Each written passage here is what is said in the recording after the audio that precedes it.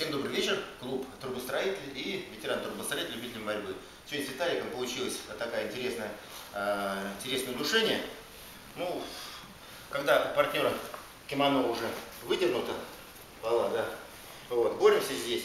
Одну руку, допустим, я запустил вот сюда, а вторую руку он мне никак не дает, не запустить. Голову прикрывает здесь вообще не запустить, а время дорого. Вот, одна рука на шее, подушка.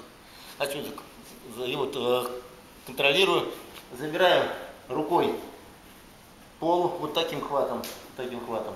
И локоток заряжаю туда, куда бы, если бы не было пола, я заряжал бы свой локоть. И вот, вот туда заряжаю локоточек. И кручусь под него, локоть завожу вот туда под, под ухо. И идет нормальное душение. Еще разочек. То есть боролись. Вот. Одну руку зарядил, вторую он меня не пускает. Я лезу, не пускает никак вижу, поло торчит. Вот примерно вот здесь. Взял, натянул, натянул вот таким образом, да, вот где-то вот так вот. И нажал на шею, локоток пошел под ухо.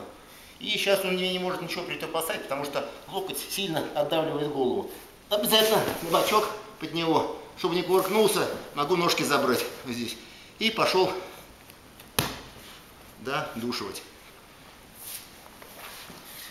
Вот такая штука получилась э, в процессе борьбы. Наверняка такая есть и техника.